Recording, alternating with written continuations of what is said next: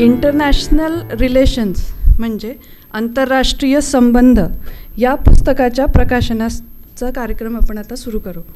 हे पुस्तक M P S C तसेच यू पी एस सीच्या मेन्स आणि प्रिलिम्सला समोर ठेवून बनवलेले आहे. यामध्ये परीक्षेसाठी गरजेचे सर्व घटक अंतर्भूत आहेत.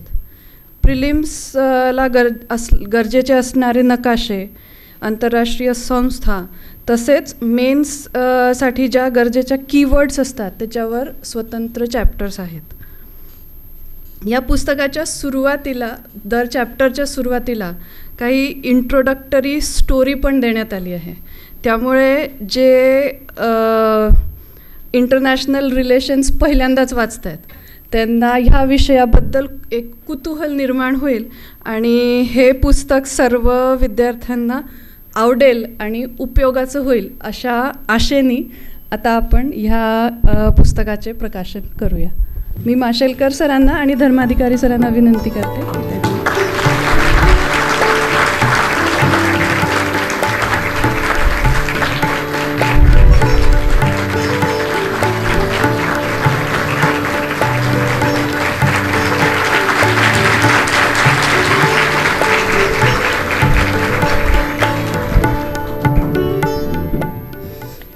या पुस्तकाचा लेखक जो आज विशेष छान दिसतो आहे ॲडव्होकेट सिद्धार्थ धर्माधिकारी. सिद्धार्थचं शिक्षण B S L L L B L L M असे झालं आहे. तो चाणक्य मंडलचा विद्यार्थी कार्यकर्ता फॅकल्टी आणि आता ट्रस्टी पण आहे. तो चाणक्य मंडलमधल्या विविध प्रशासकीय जबाबदाऱ्या समर्थपणे पार कर पाडतो. आणि शिकवताना वेगवेगळ्या नवीन टेक्नॉलॉजीजचा वापर स्वतःही करतो आणि आम्हालाही शिकायला प्रोत्साहित करतो.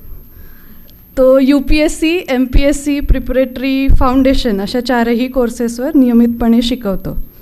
सिद्धार्थ विद्यार्थ्यांचा आवडता फॅकल्टी आणि मुख्य म्हणजे फाउंडेशन कोर्सचा लाडका दादा आहे. ह्या पुस्तकाबद्दल आणि एकूण त्याच्या ह्या सगळ्या प्रवासाबद्दल त्याचे मनोगत व्यक्त करण्यासाठी मी आता सिद्धार्थला आमंत्रण करते.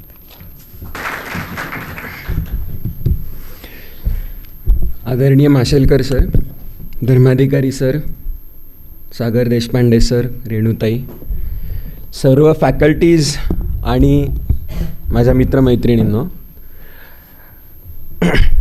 या पुस्तकाबद्दलची सर्वात पहिली आणि महत्त्वाची गोष्ट लक्षात घेण्याची म्हणजे this was a team effort author म्हणून नाव माझं असलं तरी this was a team effort आणि कंटेंट गोळा करणे क्युरेट करणे त्याचं एडिटिंग करणे याच्यामध्ये ज्यांनी कोणी मदत केली विशेषतः केतन समोर बसला आहे त्याचं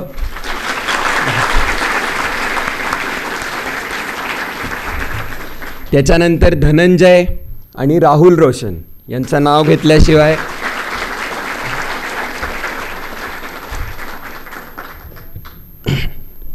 या पुस्तकाचं सर्वात मोठं वैशिष्ट्य मी एका शब्दात सांगीन म्हणजे बॅलन्स कशा कशाचा? प्रिलिम्स ओरिएंटेशन आणि मेन्स ओरिएंटेशन म्हणजे प्रिलिम्ससाठी जो फॅक्च्युअल डेटा लागतो तो पण आहे. मेनसाठी जे ॲनालिटिकल पॉईंट्स लागतात ते पण आहेत. Not too long neither too short majority resource material दोन चार पानामध्ये संपतं पण काही विषयच समजत नाही. नाहीतर काही काही Oxford handbook of Indian foreign policy ते आपल्या सगळ्या U P S C M P S सीची पुस्तकं मिळून आहे त्याच्यापेक्षा एकटं पुस्तक जास्ती मोठं आहे. कॉस्ट बेनिफिट ॲनालिसिस केलं किती मार्कांसाठी किती वेळ घालवतो तर तो रेशो जुळत नाही. मला वाटतं सर्वात महत्त्वाचं म्हणजे की इंटरनॅशनल रिलेशन्सचा जो बाकीच्या विषयांशी ओव्हरलॅप येतो. म्हणजे ताईंनी सांगितलं तसं मॅपिंग किंवा मग सायन्स अँड टेक्नॉलॉजी आणि एक्झाम ओरिएंटेड पण आहे स्टील फन टू रीड म्हणजे जी पुस्तकं एक्झाम ओरिएंटेड असतात ती अतिशय बोरिंग लँग्वेजमध्ये अनेक वेळेला लिहिलेली असतात. किंवा मग जी वाचायला मजा येते विषय समजतो पण मग त्याचं नक्की परीक्षेसाठी कसं वापरू हे कळत नाही. ह्या सगळ्या हेतूंचा मी सम्यक मध्य गाठण्याचा प्रयत्न केलेला आहे. आणि कदाचित ह्या सगळ्यांच्याही पलीकडे जाऊन सर्वात महत्त्वाचा मुद्दा सर म्हणतात की आपल्याला क्लास हा शब्द वापरला की मी पिसाळतो असं सरांचं वाक्य आहे. कारण आपण नावामध्ये म्हणलं आहे तसं परिवार आहोत. म्हणजे ती जी the theory of three golden circle सांगतात what how and middle circle is why. So काय um, इन्स्टिट्यूट बांधणे लेक्चर्स घेणे that is the what and the why but the how is given over here आणि कदाचित ते पण माशेलकर सरांना समजलं असावं म्हणून आपल्याकडे येतात ते. तो व्हाय म्हणजे काय आहे?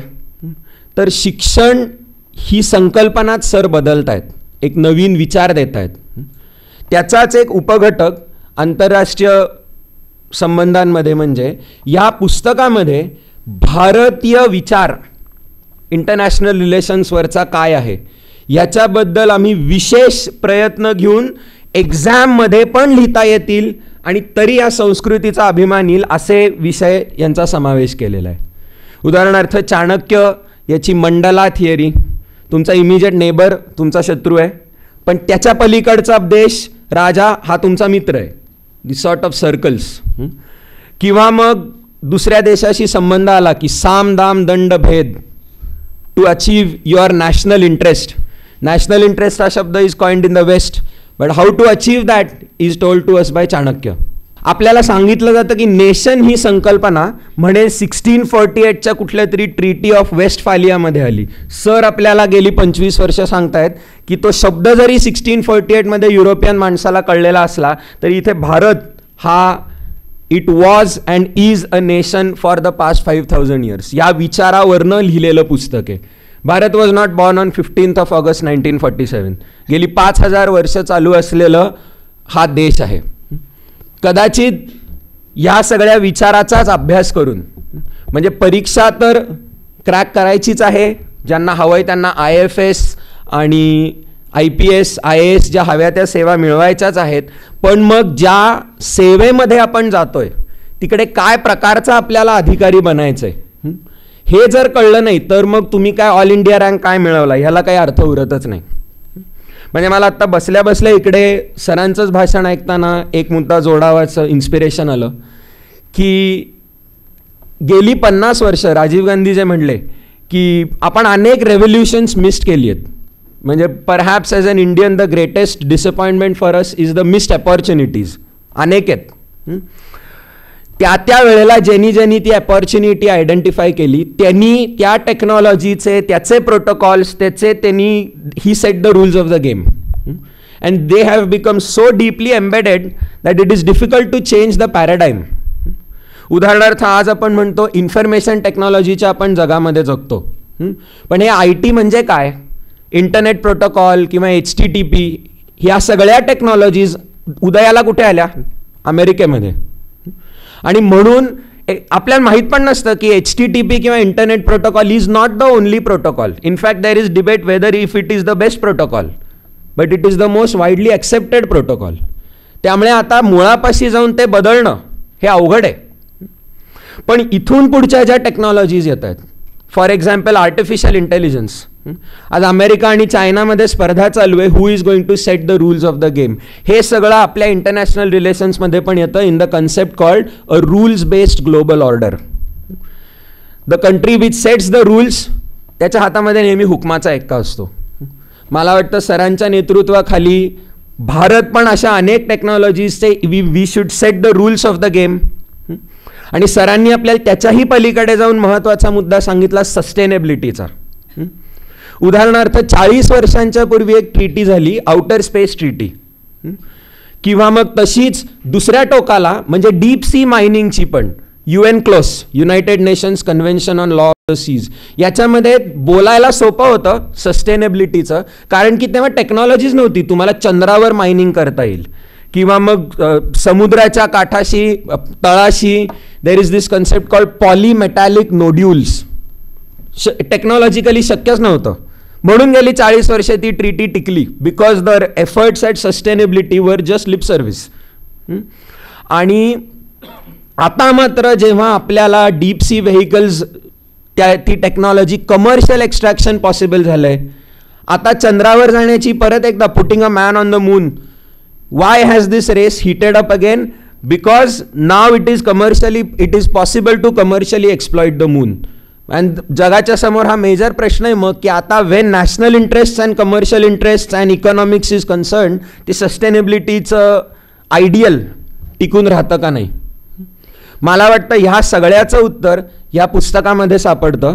आणि त्याला आपल्या वारसाचा आपण जोड कशी देतो? तर कदाचित पुस्तकामध्ये आम्ही मेन्शन केलेलं आहे ते म्हणजे शिवाजी महाराजांची राजपत्र आठवा. शिवाजी महाराजांनी ती व्हिजन पण दिसली नुसती नॅशनल नाही तर इंटरनॅशनल का? बदलतं जग. Father of the Indian Navy the first person who insisted on creating a navy पण ते करताना पण महाराजांच्या राजपत्रांनी तिथे उल्लेख काय आहे? की तुम्ही त्याच्या लाकडासाठी जर एक झाड पाडलं तर दोन लावा. म्हणजे हे सस्टेनेबिलिटी इनोव्हेशन हे सगळे आपल्या संस्कृतीमध्ये होतं. सरांनी पण गेला तासभर आपल्याला तेच सांगितलं. ह्याच भारतीय विचारावर आधारित हे पुस्तक आहे आणि तरी एक्झाम ओरिएंटेडनेस आणि मार्कांमध्ये कुठे कमी पडणार नाही. मला वाटतं मला ह्या गोष्टीचा आणि टीमचा सर्वात जास्त अभिमान वाटतो. त्यामुळे I invite all of you to read the book and best of luck for your exams